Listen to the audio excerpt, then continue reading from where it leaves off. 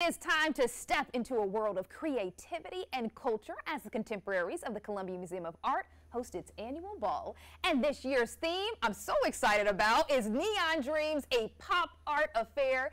And joining us this morning for a preview of the big event are board members Robbie Burns and Shayla Merritt. Thank you both so much for waking up really early to hang out with us. no, thank, thank, you you so much for having us. Yeah, All right, it. so first let's talk about who are the contemporaries? What do you guys do? Yeah, so uh, we are the Young Professionals Board, um, kind of the, the contemporary art uh, focused part of the Museum of Art. Um, and so, what our goal is to support the museum through art acquisition of contemporary pieces.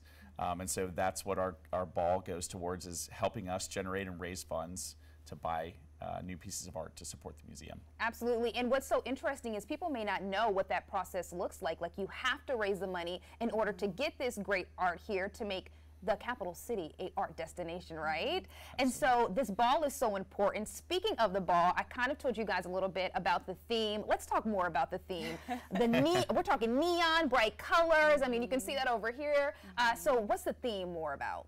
Well, so I think it's a continuation of what we had last year. It's this idea of really making sure that everyone knows that they're welcome here. So bright colors, vibrancy, sparkle, shine. I mean, it's really all about bringing everybody together. And then obviously the theme is really all about the celebration of pop art.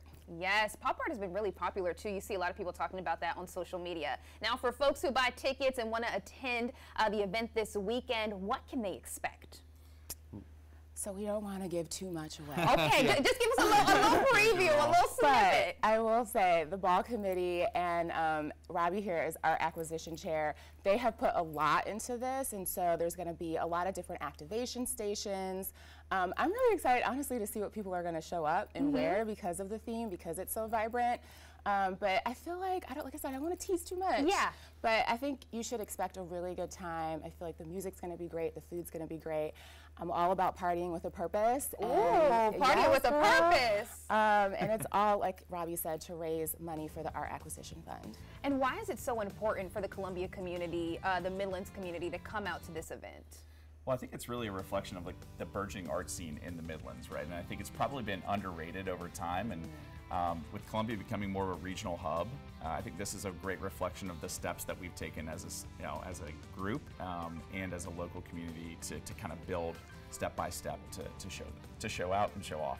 Yes, show out and show off. We love that. um, so really quickly, I also want to talk about these incredible pieces that we have around us. I'm understanding that this one was recently shown off. Tell us about this one. Yeah, so this is from Victoria Rickards. Uh, she's local to Columbia, but she was featured uh, in December down in Art Basel in Miami. So, um, kind of big, fun pieces, uh, very creative, obviously. Um, and then um, to my right, or to your right as well. Oh, I love um, this is, piece. a- is another piece from Shelby LeBlanc. So Shelby was our, our top sale last year at, Mm-hmm. at the art auction.